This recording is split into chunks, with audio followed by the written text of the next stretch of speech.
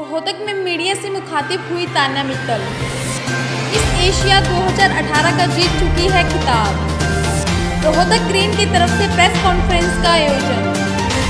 Rohtak green की तरफ़ से शहर वासियों को दीनदयाल योजना के तहत सस्ते प्लाट की सुविधा दी जा रही है।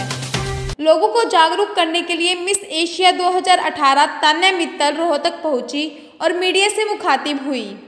इस दौरान उन्होंने कहा कि भविष्य के लिए हमेशा से ही रियल इस्टेट में इन्वेस्टमेंट सबसे अच्छा होता है। लिए सबसे अच्छा इन्वेस्टमेंट रियल इस्टेट का ही होता है, क्योंकि सोने के अंडे वाली मुर्गी तो रियल इस्टेट ही है। तो मैं भी अपने लिए कुछ ना कुछ इन्वेस्टमेंट का ढूंढती रहती हूँ। तो दिल्ली में जब मनीष जी और रवि जी से बात हुई, तब मैंने इस प्रोजेक्ट को थोड़ा समझने की कोशिश की। तो जैसे कि आज आप लोग का सहयोग कर रहे हैं, वैसे ही इनने मेरा भी बहुत सहयोग किया। रोहतक से मैं तो आज पहली बार ही आई हूँ रोहतक।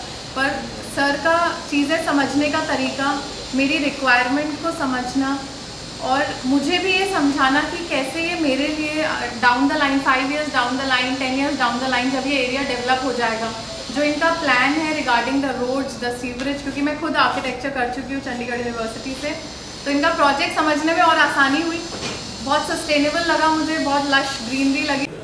ज़ीरो जी।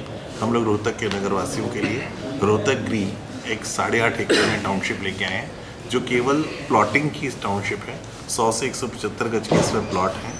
दीनदयाल आवास योजना सरकार की इसमें से अनुबंधित है ये। इसके लाइसेंसेस भी हैं और इसकी जो एप्लीकेशन फॉर्म है, हमने तेरह तारीख को इन्वाइट किया। तीस तारीख को क्लोजिंग की डेट है। उसके लकी ड्रॉ से इन्हें प्रोसेस किया जाएगा। और जो भी विनर होंगे, उनको हम अलॉटमेंट देंगे। अलॉटमेंट के बाद उन्हें 25 परसेंट पैसा जमा कराना है। सभी राष्ट्रीयकृत बैंकों से ये प्रोजेक्ट अप्रूव्ड है। जिस भी लोगों को लोन लेना है वो लोन की सुविधा उन लोगों को मिल जाएगी।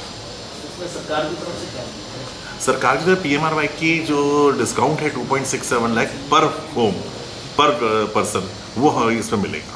घर बनाना। घर बनाने। और जो योजना है, इस योजना की बेनिफिट ये है कि सरकार जो ईडीसी सीडीसी आईडीसी लेती है, वो हम लोग नहीं ले रहे हैं इसमें। और सरकार की तरफ़ से बहुत ही सब्सिडी रेट पे हम लोगों से लिया गया है।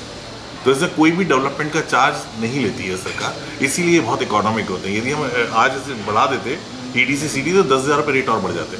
ये प्लॉट जो है, छब्बीस हज़ार रुपये गज बेचते शायद।